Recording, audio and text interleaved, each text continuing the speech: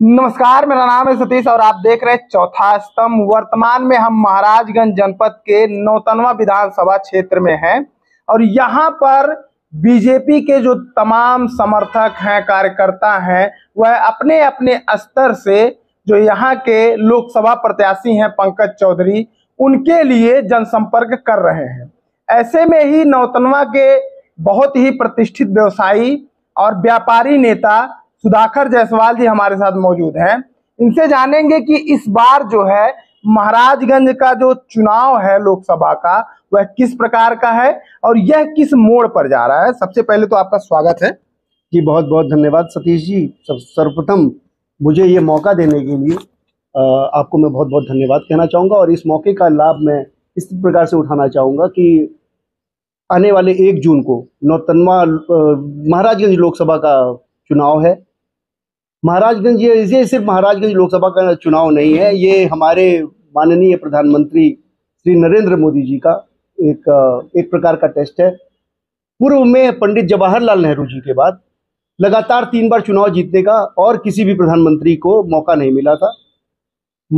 आने वाले समय में आप लोग देखेंगे, जब चार जून को निर्णय निकला, निकलेगा तो चार जून को हमारे, हम सबके प्रिय प्रधानमंत्री श्री नरेंद्र मोदी जी तीसरी बार भारी मत भारी बहुमत के साथ 400 पार जो उनका नारा है निश्चित रूप से वो पूरा किया जाएगा। अच्छा भैया आप घूम रहे हैं कैंपेनिंग भी कर रहे हैं तो इस बार महाराजगंज में जो चुनाव है क्या माहौल है पंकज चौधरी के पक्ष में या विपक्ष में क्या लगता है आपको?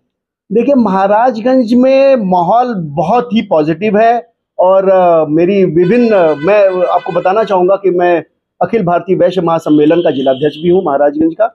तो मेरी विभिन्न अपने न केवल अपने बिरादरी में वैश्यों में, न, बल्कि अनेक अनेक माध्यम से लोगों से जब चर्चा होती है तो उन लोगों में एकदम बिल्कुल क्लियर कट ये भावना है कि इस बार नरेंद्र मोदी जी और हमारे माननीय सांसद, जो मंत्री जी भी हैं, केंद्रीय वित्त राज्य मंत्री जी, उनके पक्ष में बहुत अभूतपूर्व समर्थन का माहौल एक पैदा हुआ है।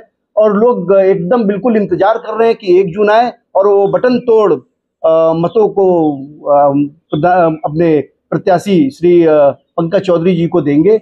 और वो कम से कम मेरा ऐसा मानना है और लोगों से चर्चा करने के बाद ये मैंने अपना निकाला है कि कम से कम वो तीन लाख या चार लाख वोटों से ज़्यादा से चुनाव जीतेंगे। दावा तो किया जा रहा है दस लाख पार।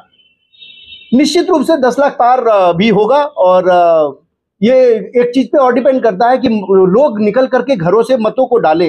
बहुत सारे लोग मैं उन लोगों से इस, आपके माध्यम से अपील भी करना चाहूँगा कि वो एक जून को घरों से निकले और मत को डाले। और महाराजगंज का इतिहास रहा है कि ज़्यादा से ज़्यादा मत यहाँ पर लोग डालते रहे हैं। तो उसको पूरा करें। हमने देखा है कि पीछे कुछ जगहों पे मतों का प्रतिशत कम रहा है क्योंकि गर्मी भी बहुत ज़्यादा है और लोगों ने ये मान लिया है कि विपक्ष एकदम हतोत्साहित है। विपक्षी मत भी नहीं पड़ रहा है। तो ये हम ये चाह रहे हैं कि विपक्ष के लोग भी आए और अपना मत डालें कम से कम मत बूथों पे जाएँ और अपने मत को डालें।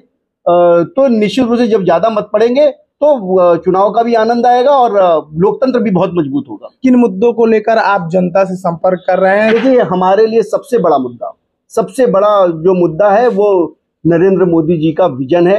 उन्होंने भारत को वर्ष दो तक विकसित भारत बनाने का लक्ष्य रखा हुआ है। और मेरा ये मानना है, ये सही समय है कि भारत को दो हज़ार सैंतालीस तक विकसित भारत बन जाना चाहिए। विकसित भारत का मतलब अगर हम ये समझते हैं कि सिर्फ़ ऊँची ऊँची बिल्डिंगें, अच्छी सड़क, अच्छी सब अच्छा शिक्षा, अच्छी स्वास्थ्य व्यवस्था, सिर्फ़ यही नहीं होती। विकसित भारत में प्रत्येक नागरिक को एक सुरक्षा का भाव होगा। प्रत्येक नागरिक का केयर किया जाएगा और आपने देखा होगा भारतीय जनता पार्टी की सरकार ये नहीं है कि एक दिन में वो उसको विकसित भारत बनाना है। इसीलिए दो का रखा गया है कि ये क्रम वाइज स्टेप वाइज ये चलेगा। इसीलिए आयुष्मान योजना लाया गया कि जिससे आयुष्मान योजना के द्वारा कम से कम एक नागरिकों में एक स्वास्थ्य के प्रति उनको कुछ सुरक्षा दी जाए। ये धीरे धीरे इस आयुष, आयुष्मान योजना को और अन्य तरीके को बाकी इंफ्रास्ट्रक्चर के साथ जब जोड़ा जाएगा तो निश्चित रूप से आप ये देखेंगे कि सभी नागरिकों को को स्वास्थ्य मिलेगा, विकसित भारत में ये सब भी अवेलेबल होगा।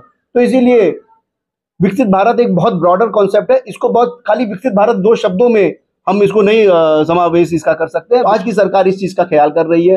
वो सड़कों को आप देख रहे होंगे, जो फोर लेन बन रहा है अभी हमारे नौतनवा गोरखपुर का जो हाईवे बन रहा है। आप देख रहे होंगे, यहाँ पे एक रोड ओवर ब्रिज जगह जगह पे बनाया जा रहा है, जिससे जहाँ पर भी रोड का कट हो, वहाँ पर गाड़ियों को स्लो ना होना पड़े। तेज़ी से गाड़ियाँ आगे जा सके। जिससे रोड एक्सीडेंट भी कम हो और और मतलब आपको मैं ये कह सकता हूँ आप देख आप ये भी देख रहे होंगे एयरपोर्टों का जिस तरीके से विकास हो रहा है हमारे देश में जिस करीब करीब दूनी एयरपोर्ट हो गए पिछले दस सालों में एयरपोर्ट की संख्या में इतना बढ़ावा हुआ क्योंकि हमको अपने जनसंख्या के लिए ये भी उनको ट्रेवल करने के लिए चाहिए होगा आपने ये भी सुना होगा आ, कि हमारे देश में अभी करीब जो कॉमर्शियल एयरक्राफ्ट है वो करीब छह सात सौ के आसपास ही होंगे आज की डेट में लेकिन अभी आपने देखा होगा इंडिगो एयरलाइन और एयर इंडिया ने पाँच पाँच सौ एयरलाइन का ऑर्डर किया हुआ है। मतलब जितनी हमारे देश में एयरक्राफ्ट कॉमर्शियल एयरक्राफ्ट पिछले सत्तर पचहत्तर सालों में हुए हैं उससे ज़्यादा उसका का सवाया का ऑर्डर किया जा चुका है। तो ये सब हमको उस लक्ष्य की तरफ़ ले जाएगा। और ये ये कोई एक सेक्टर में ऐसा नहीं है जिसमें कार्य हो रहा है। सारे सेक्टर जि, जिस जितने भी सेक्टर आप देख रहे होंगे सारे सेक्टर में बहुत बेहतरीन ढंग से काम हो रहा है। इसीलिए हमको ये चाहिए कि विकास की जो अच्छी योजनाएँ बना सके और दूरगामी परिणाम देने वाली योजनाएँ बना सके ऐसे सरकार हम पर शासन करे और उसके हिसाब से हम लोग देश को आगे बढ़ाए। दो हज़ार चौदह के बाद से जो आंकड़े हैं वो ये कहते हैं बेरोजगारी की सबसे ज़्यादा बेरोजगारी है। आपका ये कहना इससे मैं सहमत नहीं हूँ कि बेरोजगारी का सूचकांक या बेरोजगारी के आंकड़े बड़े हैं। निश्चित रूप से देश में बेरोजगारी है और ये भारी समस्या है। हमारे देश के नौजवानों को रोज़गार की आवश्यकता है भारी आवश्यकता है। उनको रोज़गार मिलना भी चाहिए। ये कोई एक दिन में किए जाने वाला कार्य नहीं है। आपने ये देखा होगा मोदी जी ने जो मुद्रा योजना लाई उससे करीब बयालीस करोड़ लोगों को स्वरोजगार के लिए प्रेरित किया। उनको उनको आ, उसके धन मिला और वो स्वरोजगार प्राप्त किए। रोज़गार का मतलब सिर्फ़ सरकारी नौकरी नहीं होती है। सिर्फ़ सरकार सरकार के पास लिमिटेशन होती है एक लेवल से ज़्यादा वो लोगों को एम्प्लॉय नहीं कर सकती है। तो इसीलिए ये आवश्यक है कि हमारी जनसंख्या को एक अच्छा एटमोसफियर दिया जाए जिससे कि वो कार्य कर सकें और सरकार ये कर भी रही है और आपने देखा होगा कि 42 करोड़ लोगों को जब मुद्रा योजना के द्वारा धन प्राप्त हुआ तो निश्चित रूप से उन्होंने यूज़ किया। और विकास के जो इतने कार्य सारे कार्य चल रहे हैं इसमें भी लोगों को रोज़गार मिल ही रहा है। तो योजनाओं का परिणाम कई बार तुरंत मिल जाता है कई बार उसके परिणाम दूरगामी होते हैं।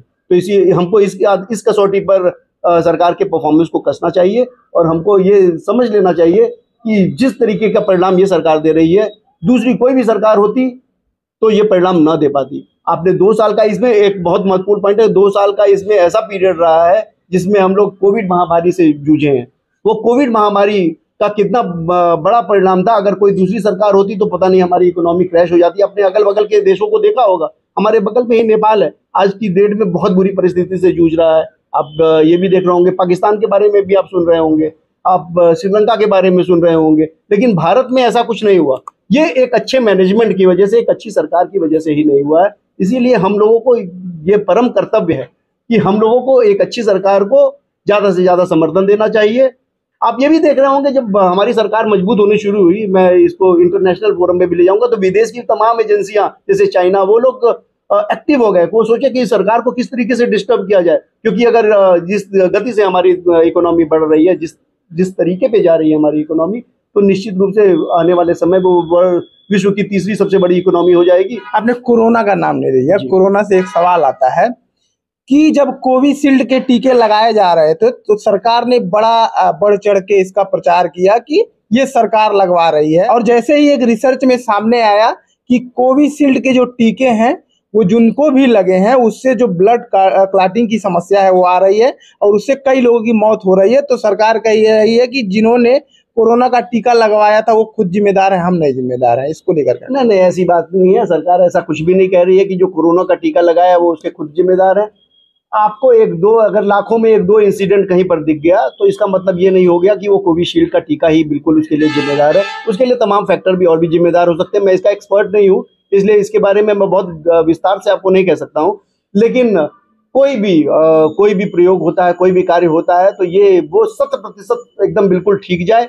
ये कोई आवश्यक नहीं है। लेकिन उसकी प्रतिशत आप ये देख रहे होंगे कि उसमें अगर ये जो कुछ सूचनाएँ आ भी रही हैं, पता नहीं वो सही है कि गलत है, मुझे पता नहीं है तो वो प्रतिशत में इतना कम है, वो point zero zero zero zero के कितने ज़ीरो में होगा, लाखों में कोई एक दो इंसिडेंट अगर सुनने में आ जाए, वो भी नहीं होना चाहिए। मेरा ऐसा नहीं मानना कि वो होना चाहिए, लेकिन अगर वो हो रहा है तो वो किस तरीके से हमारे देश में, हमारी जनसंख्या को, हमारे हमारे भाई बहनों को बचाया गया, वो बहुत ही नगण्य है। तो इसको, इस पर हमें ये विपक्ष द्वारा फैलाया गया एक प्रोपागेंडा है। हमको इस पर बहुत ध्यान नहीं देना चाहिए। और इस बात में कोई दम नहीं है। ये सरकार को बदनाम करने के लिए विपक्ष अपने अपने तरीके से प्रयास कर रही है। उस बात में कोई दम नहीं है। आप व्यापारी समाज से आते हैं। जब जीएसटी लागू किया गया तो यही व्यापारी समाज है जिसका बहुत बड़ा लॉस भी हुआ। और व्यापारी समाज कहीं ना कहीं विरोध भी कर रहा था इस सरकार का। लेकिन अब अगर देखा जाए तो ये जो व्यापारी समाज है जीएसटी में भारी भरकम नुकसान हुआ उसके बाद भी क्या सरकार के खिलाफ है या सरकार के साथ जाएगा? मैंने आपको पूर्व में ही बताया कि व्यापारी समाज पूरी तरीके से सरकार के साथ है। वो कुछ एक कुछ एक लोग हो सकता है सरकार के विरोध में हो लेकिन वो उनका पर्सनल कुछ ए, कुछ हित हो सकता है या कुछ ऐसी बात हो सकती है लेकिन ओवरऑल आप व्यापारी समाज को देखेंगे भारतीय जनता पार्टी के साथ है वो भारतीय जनता पार्टी के पक्ष में ही वोट करेंगे। आपने जीएसटी की बात करी, निश्चित रूप से कोई जब नई टैक्सेशन प्रणाली आती है, लोगों को जब कंप्लायंसेस करने पड़ते हैं जीएसटी में सबसे बड़ा रोल है कंप्लायंसेस का। जब लोगों को कंप्लायंस करना पड़ता है तो उनको तकलीफ़ होती है। लेकिन कोई भी भारत जैसा बड़ा देश, अगर वहाँ पर अगर कंप्लायंसेस नहीं होंगे तो देश हमारा विकसित नहीं बन सकता है, हमारा देश आगे नहीं जा सकता है। तो हमारा फॉर्मल इकोनॉमी का इनफॉर्मल इकोनॉमी भी तो रहेगी साथ साथ लेकिन फॉर्मल इकोनॉमी हमारी बढ़नी चाहिए उससे ही हमारे देश की शक्ति का पता चलता है। हमारे देश में अगर मान लीजिए सभी लोग दो नंबर का काम कर रहे हो, कोई कंप्लायंसेस ना कर रहे हो हो सकता है उन लोगों को कुछ लोगों के पास आए, एक तो पहले तो ये होगा कि कुछ लोगों के पास आया चला जाएगा। बहुत वो कम लोग होंगे। बाकी लोग इकोनॉमी से बिल्कुल कटे पिटे रहेंगे। और विश्व में भी जो दूसरे देश हमसे जो ट्रेड करना चाहते हैं, वो हमारी इकोनॉमी का साइज़ नहीं समझेंगे। तो हमारे साथ ट्रेड कैसे करेंगे? तो इसीलिए ये आवश्यक है कि हमारी फॉर्मल इकोनॉमी बनना चाहिए। और आपने देखा होगा अप्रैल या मार्च माह का मुझे ठीक से याद नहीं आ रहा है डेटा देखा होगा, दो लाख दस हज़ार करोड़ रुपया जीएसटी पे कलेक्शन हुआ है। तो ये एक बहुत बड़ा बहुत बड़ा सिग्निफिकेंस है इसका। तो इससे हमारी इकोनॉमी कितनी बड़ी हो रही है, ये पता चलता है। और यही बड़ा जब हम जब हम दिखेंगे, जो हम हैं, वो अगर हम दिखने लगेंगे, तभी लोग हमारे महत्व को समझेंगे और हमको उसी तरीके से उसी प्लेटफॉर्म पे बैठाएँगे। बिल्कुल। समय की बाध्यता है, नहीं तो आपसे बातचीत करने में बड़ा मज़ा आ रहा था और इसको लंबा खींचते, लेकिन चूँकि समय कम है इस वजह से हम इस बातचीत को यहीं खत्म करते हैं। बाकी इस खबर को लेकर आप क्या कहना चाहते हैं, हमारा कमेंट बॉक्स खुला हुआ है, उसमें आप अपनी राय रख सकते हैं।